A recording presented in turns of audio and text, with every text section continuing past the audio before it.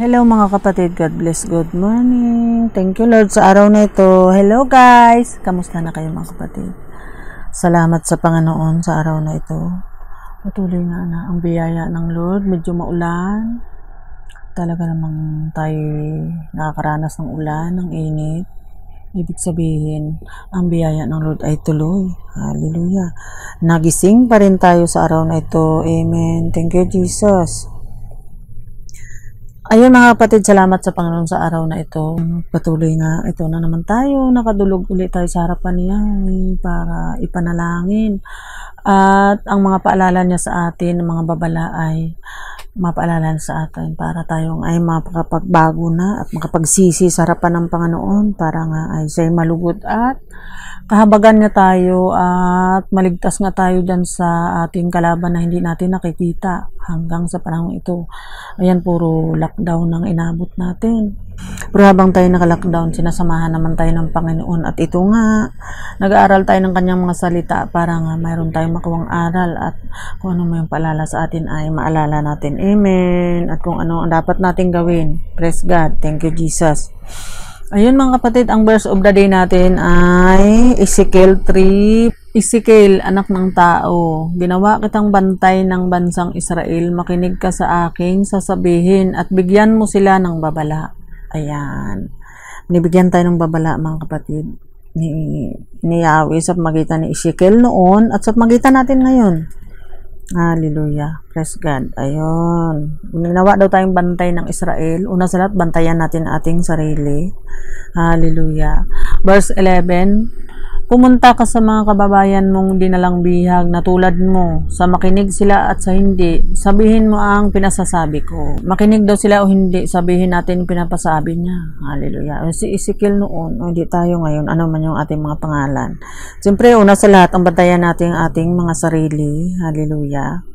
Kaya makinig daw sila o hindi, sasabihin mo daw ang pinapasabi ko, sabi ng Panginoon. Amen. Thank you, Jesus. Ayun sabi, Ezekiel pa rin, 2 verse 5 hanggang 7. Makinig man sila o hindi, malalaman nilang may isang propeta sa kanilang kalagitnaan. Ayan, propeta, si Jesus. Si, si Jesus kasi inahayag natin dito, hindi naman tayo. Huwag kang matakot sa kanila kahit pagbantaan kanila. Ayan, di ba? Nangyayari talaga yung mga kapatid. Minsan doon sa sarili mo pang kapatid sa laman. Pagbantaan kanila kahit na paligiran kanila na waring ka, nakaupo ka sa gitna ng mga alakdan. Huwag ka ngang masisindak sa kanila. Bagamat sila'y talagang mapaghimagsik. Ayun. Huwag daw tayo masisindak. Bagamat sila'y mapaghimagsik. Grabe yung dinadanas noon ni Ezekiel. Ano? Pinagbabantaan pa siya paghimagsik. Kasi si Jeremiah, ganun din. O si Jesus nga, grabe nga yung banta. Tuloy nga yung banta nila.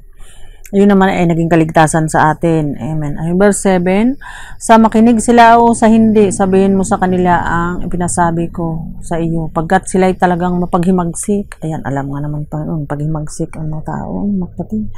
Nibigyan pa rin sila ng palala. Hanggang sa panahon ito mga kapatid, kaya siguro nangyayari sa atin itong nagtatago tayo kasi kung para tayo nakasakay sa isang barko o yung iba binubutas nila yung barko, ang daigdig o siyempre damay-damay tayo kasi nandito nga tayo mga kapatid. Talaga daw silang mapaghimagsik pero hindi tumigil ang Panginoong Yahweh ng kasusugo. Alam naman ni Yahweh ng paghimagsik ang mga tao. Pero sabi nga niya, huwag daw matakot si Ezekiel. At sinasamahan naman siya ni Yahweh. Hallelujah. Ayun. Kahit ano, talaga daw sila yung mapaghimagsik. Aray. O, siguro masobra ng paghimagsik ang mga tao. Ano mga kapatid? Siyempre number one tayo doon. Hindi naman sa nabing mahib, ma, paghimagsik ang babangis na aso. Hindi naman. Eh, mga tao nga.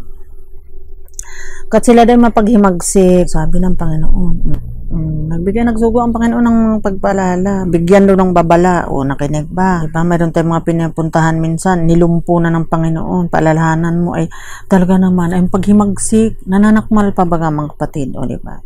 Naranasan noon ni Ezekiel. Naranasan pa rin natin ngayon na imbis na tayo magalit tayo habag na habag pero wala tayong magawa. Kasi ganun na talaga sila. Wala tayong magagawa. Ayun. Pinaubaya na rin natin sa Panginoon. Kasi, eh, naku naman, na pagod din, mahumarap din sa paghimagsik na iyan. Pero dahil ang Diyos ay mahabagin, paulit-ulit pa rin sa nagsuko ng ano mga kapatid. Parang mabigyan ng babala yung mga mapaghimagsik. Hallelujah. Ayun, Jeremiah 36 verse 7. Sabi dito mga kapatid, basahin ko lang. Hindi ako nagsabi. Binasa ko lang.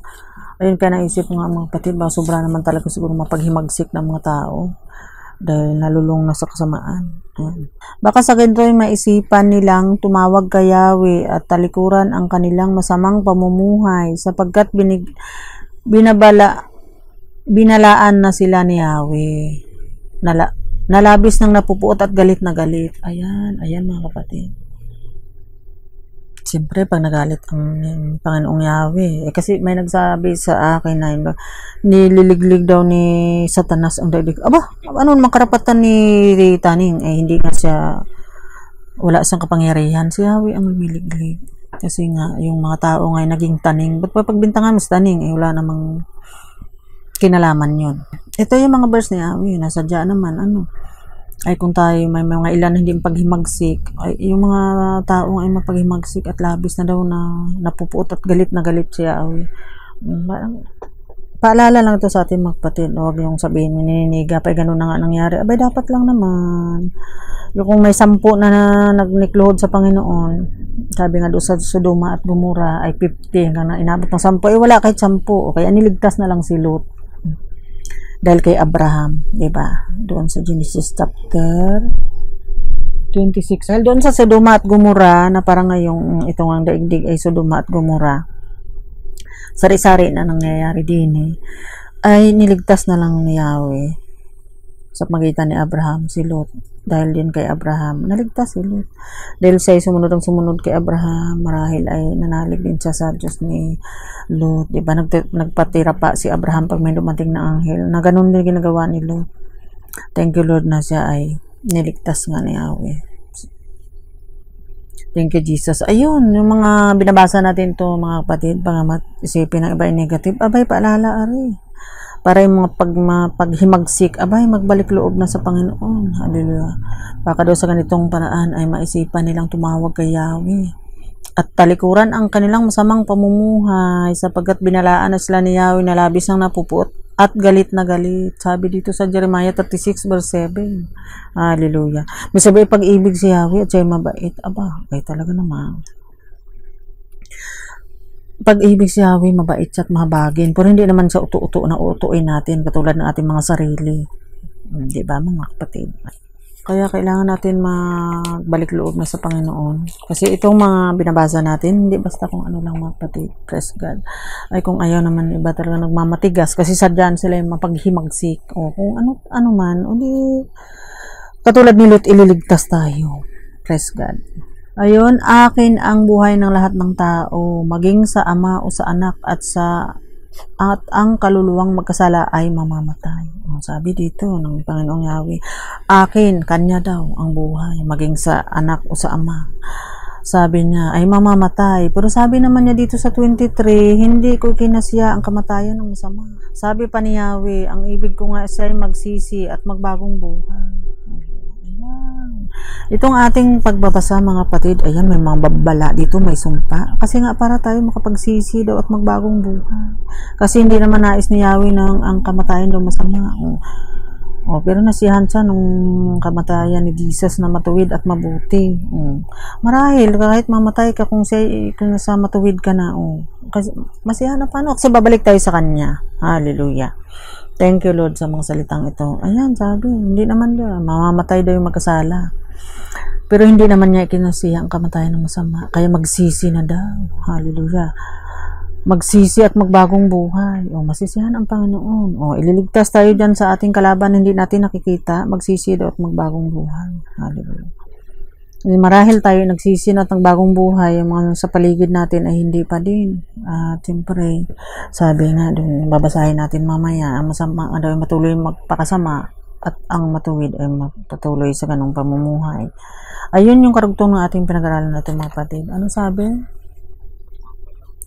Verse 32, Hindi ko gustong mamatay ang sino man, kaya magpakabuti na kayo upang kayo'y mabuhay. Sabi niya, Yahweh, grabe ano mga kapatid. Ezekiel 18 verse 4, 23 and 32, dugtong na rin natin 31. Ano sabi? Lumayo kayo sa inyong kasamaan at magbagong buhay sapagkat di kayo dapat mamatay mga Israelita. Hallelujah. Ayan. Hindi na dapat mamatay ang mga Israelita. Hallelujah. Malinaw mga kapatid, may palala dito ang Lord. Kaya kailangan natin daw magpakabuti. At yung mga nakikinig, naway paalalanan natin. O pero sabi nga, ay yung gusto magpakasama ay magpasama. Ayan, hindi daw nais na Yahweh na mamatay ang sino man mga kapatid. Hallelujah. Magpakabuti na kayo upang kayo mabuhay. Sabi niya. Ibig sabihin, nagpapakasama na talaga ang mga tao. Lumayo kayo sa inyong kasalaan. Mga magbagong buhay na kayo. Sabi. Hallelujah. Ayan. Sapagat hindi kayo dapat matay mga sleep. Diba mga kapatid, nakakilabot itong ating binabasa. Nakaka, ano ito mga kapatid, pero may paalala sa atin. Ayan, baka daw sakali na sila eh, lumayo silang kasamaan doon sa ating binasa mga kapatid, Jeremiah 36 verse 7. Dahil binigyan na daw tayo ng babala ni Yahweh na labis ng napupuot at galit na galit. Hallelujah. Ayan, malinaw mga kapatid. Nagbigay ng babala ang Panginoon para nga tayo ay makapagbagong buhay kasi hindi nga nais na mamatay ang sino man. Sabi niya, praise God, thank you Lord na tayo ay narito pa rin. Hindi pa rin tumigil ang Diyos sa bigay ng babala. Praise God. Para nga tayo daw ay makapagsisi at magbagong buhay. Hallelujah. Ayan, basahin pa rin natin to. Ang kahabagan pa rin ni Yahweh kahit siya'y labis na napuot at galit na galit. Nagbigay pa rin siya ng palala mga kapatid. Kaya may pag-asa pa. Hallelujah. Naway may makapansin dito sa mensahe na ito ni Yahweh. At ma-share natin ang ma-share sa buong daigdig. Ayun. 2 Chronica 36 verse 15 and 16.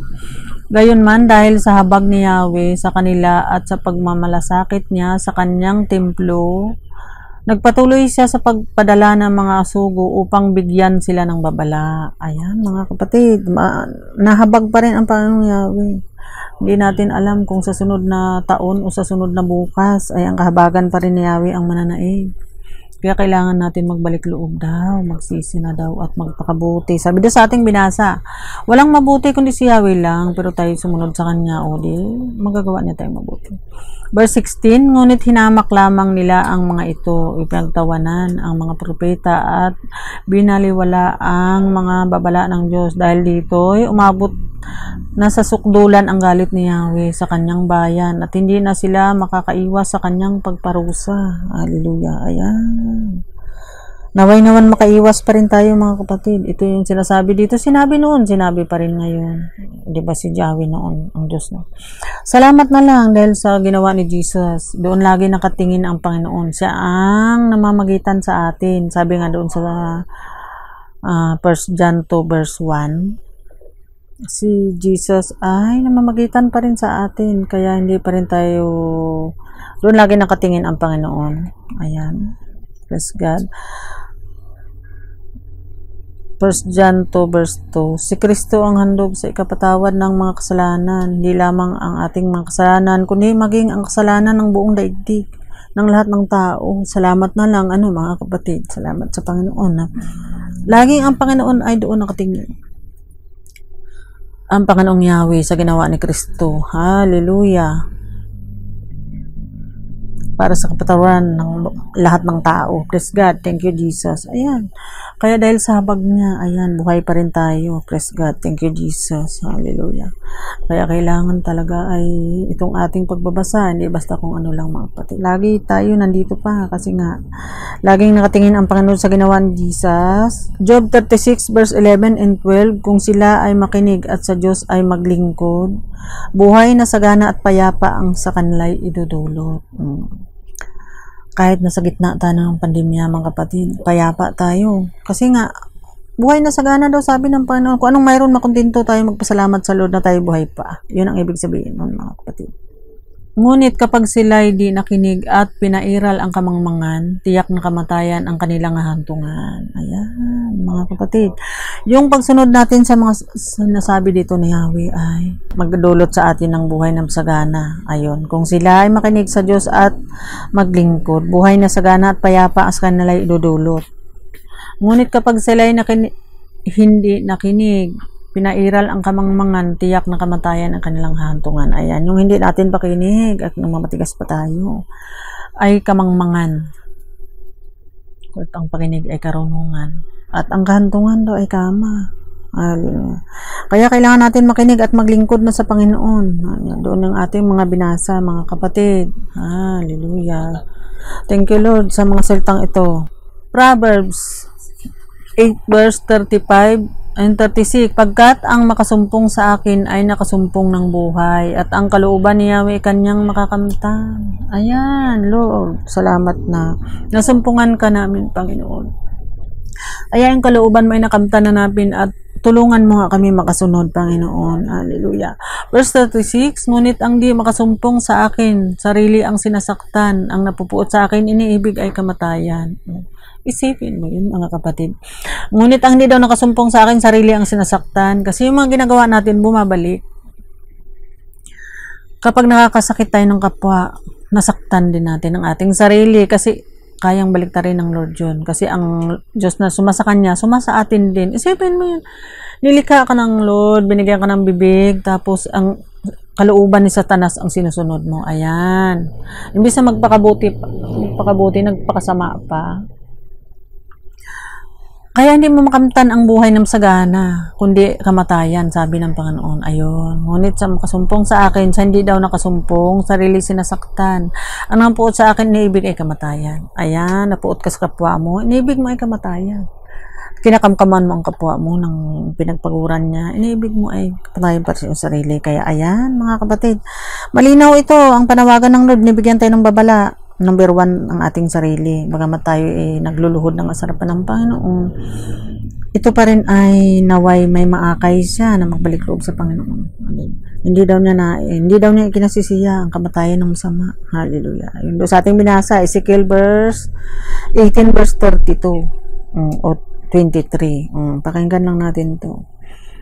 Hallelujah. Pahayag 22 verse 10 hanggang 11 At sinabi niya sa akin, Huwag mong ilihim ang mga propesiya na nasa aklat na ito sapagkat malapit nang maganap ang mga ito. Ayan, nagaganap na nga mga kapatid.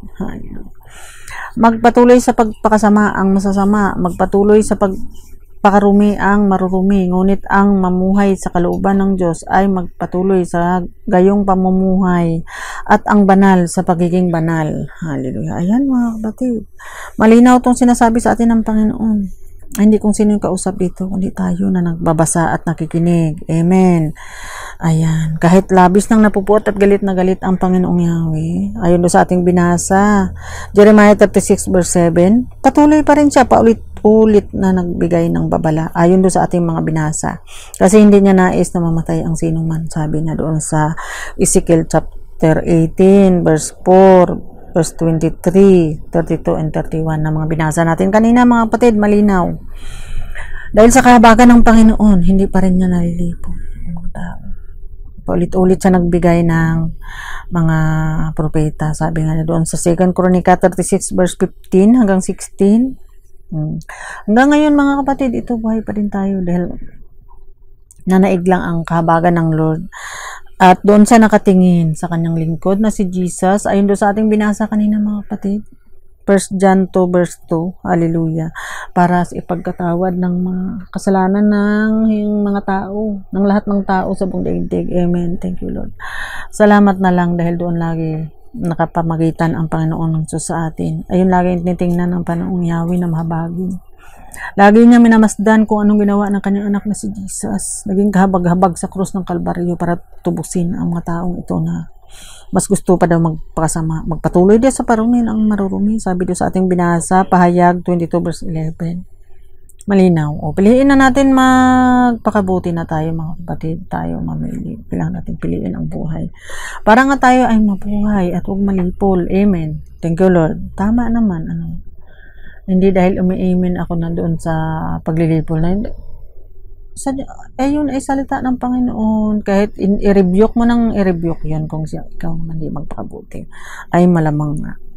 Huwag natin sagarin si Yahweh na labis nang napupuot at galit na galit. Salamat sa Kanya na naig pa rin kahabagan niya at nanaig pa rin yung habag niya.